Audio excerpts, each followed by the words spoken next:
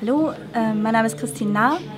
Ich ähm, arbeite als freiberufliche Medienpädagogin bei ICOSOM, Institut für Kommunikation in sozialen Medien, und beschäftige mich mit den Themen Medienpädagogik, Kinder, Internet, Jugend, das, was dazugehört, E-Partizipation und seit neuestem sozusagen, das Thema hat sich in den Diskussionen und aktuellen E-Partizipation herausgestellt, Kinderbeteiligung im Internet.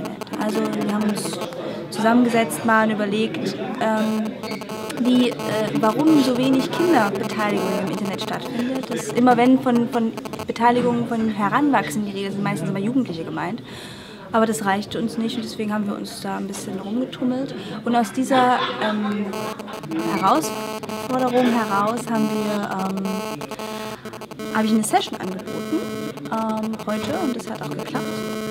Kleinen Input gab zu den Gedanken, die ich so habe. Ich habe auch ein paar Praxisbeispiele mitgebracht, die das Ganze nochmal so ein bisschen deutlicher machen, was es für Beteiligungsmöglichkeiten bereits schon für, sagen wir, unter 10, 11-Jährige gibt, die also erst anfangen, sich dafür so richtig zu begeistern.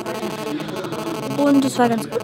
Am Anfang hatte ich so ein bisschen das Gefühl, dass, es, ähm, dass ich so viel rede und alle ähm, ein bisschen erplättet waren davon, aber ähm, stellte sich dann in der nachfolgenden Diskussion raus, dass sie das richtig gut fanden.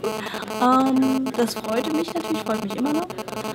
Und dass daraufhin auch viel äh, Diskussion entstanden ist über die Möglichkeiten, was man machen kann. Da geht es ja vor allem um Diskussionen, was man für Methoden überhaupt anwendet. Welche Instrumente benutzt man, wenn man mit Kindern überhaupt online arbeitet. Das ist das eine, aber wenn man auf Beteiligungsinstrumente schaut, gibt es natürlich nochmal gesonderte Fragen, was es überhaupt für Möglichkeiten gibt und so weiter.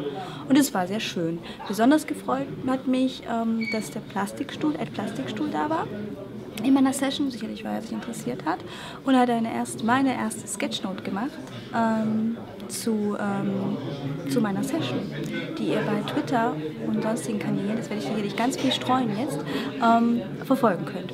Das freut mich sehr. Dankeschön.